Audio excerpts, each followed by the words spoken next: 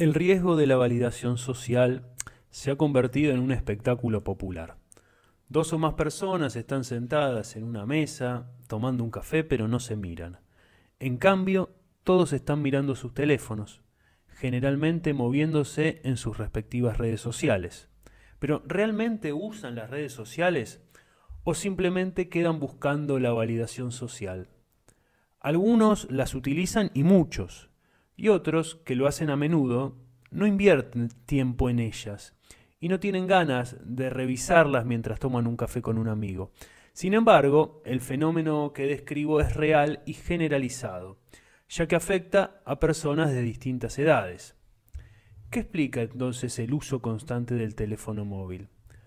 probablemente habrá más de una razón, pero seguramente que la principal es que hay muchas más personas en una plataforma de redes sociales al mismo tiempo que en el lugar físico. Hay una audiencia más grande en una plataforma en línea. Por ejemplo, si se le cuenta un chiste a uno o dos amigos, se puede obtener una reacción o dos. Pero si esto se publica en las redes sociales, se pueden obtener 100 y potencialmente muchísimo más.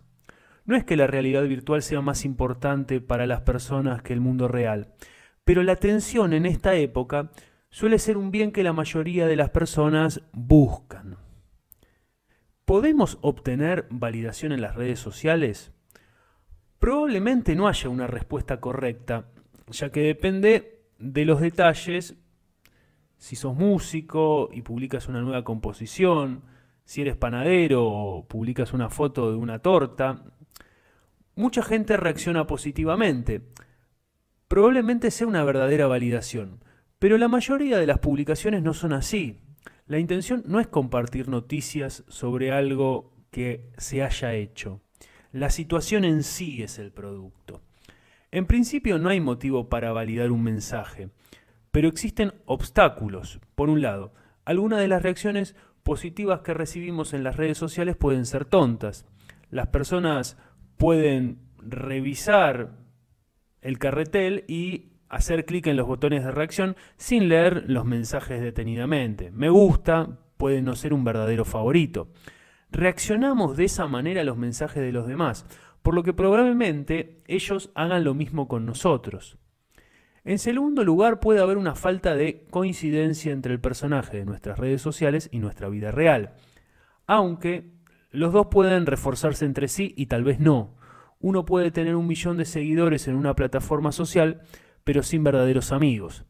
Este desacuerdo puede vivirse como una ruptura, y de a que es difícil sanar una psique rota o un psiquismo roto, puede ser tentador identificarse con el lado popular de uno mismo, protegiéndose del dolor del mundo real estando en línea.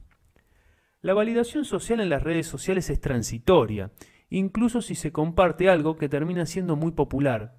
En breve aparecerá otra publicación en la parte superior.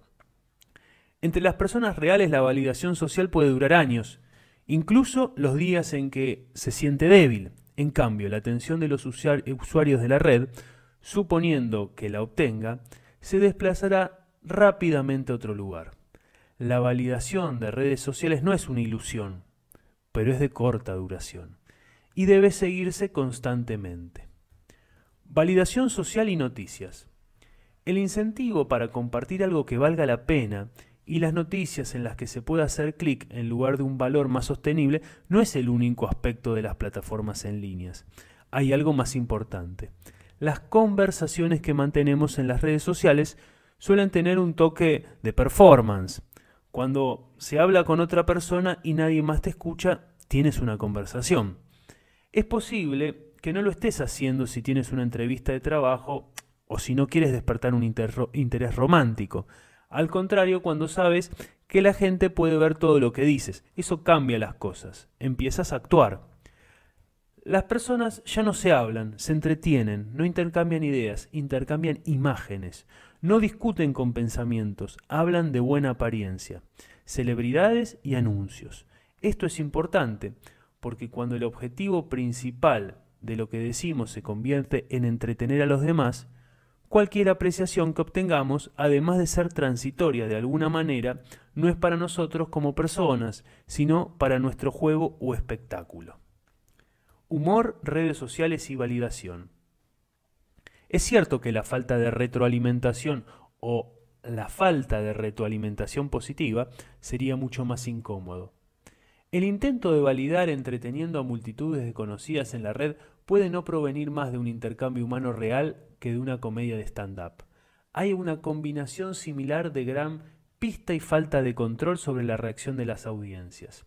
Y sospecho que en muchos casos también los efectos negativos pueden ser más duraderos que la liberación de endorfinas. Esto no es una ilusión, sino ciertamente la tapa de un cartel de éxito que está desapareciendo rápidamente.